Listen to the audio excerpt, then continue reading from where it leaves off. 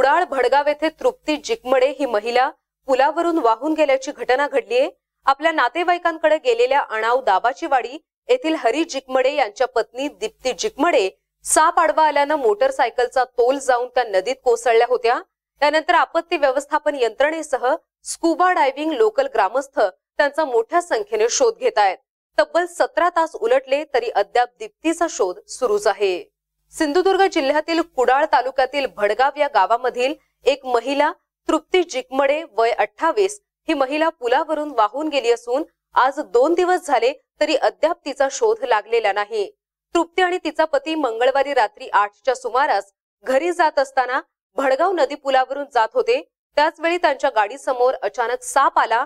त्या सापाचा जीव वाचवण्याकरिता त्यांच्या पतीनं गाडी बाजूला घेतली असताना त्यांच्या पत्नी तृप्ती हिचा तोल जाऊन त्या नदीत मोटरसायकलसह पडल्या.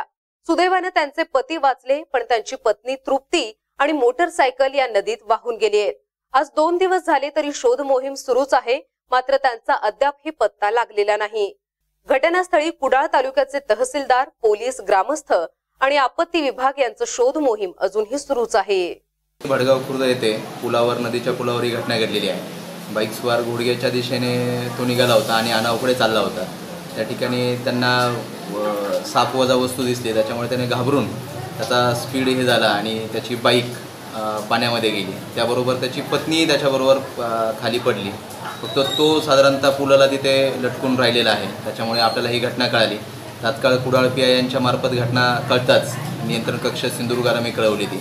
आणि आम्ही घटनास्थळी दाखल झालो. घटनास्थळी येण्यापूर्वी साधारणतः त्यांना वाचवण्याच्या दृष्टीनेच आमचा प्रयत्न होता. बरोबर नऊ वाजता आल्यावर आम्ही रिंग बोय असतील लाईफ जॅकेट असेल व बॅटरी असेल सगळ्याच्या मदतीनं आणि स्थानिक ग्रामस्थांच्या मदतीनं सर्व पोलीस पोलीस पाटील आमची महसूल यंत्रणा जवळजवळ साडे अकरा वाजेपर्यंत रेस्क्यू केला.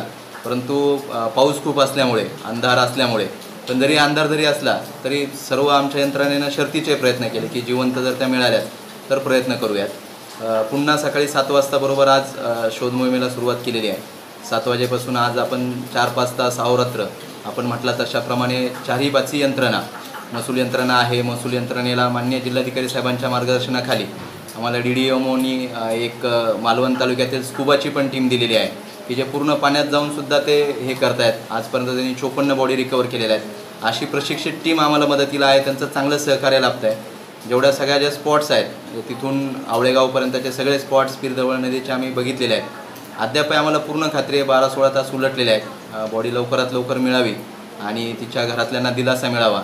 आणि सर्व प्रशासकीय यंत्रणा त्याच्यासोबतच आहे. पोलीस यंत्रणा आम्ही पूर्ण आमच्या ह्याच्यात मदत कार्य करते महसूल यंत्रणा मदत कार्य करते त्याचबरोबर माननीय निवासी उपजिल्हाधिकारी मॅडम यांच्या मार्गदर्शनाखाली एक आम्हाला रेस्क्यू टीम म्हणजे जी पोहणाऱ्यामध्ये म्हणजे जी अव्वल आहे अशी टीमसुद्धा आम्हाला मिळालेली आहे.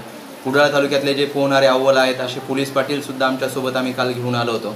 त्यांचीही आम्हाला सातत्यानं मदत मिळते. व्यक्तिशः आम्ही स्वतःही जाऊन बघतोय. सर्व पत्रकार मीडिया पदाधिकारी यांचं चांगलं सहकार्य आहे.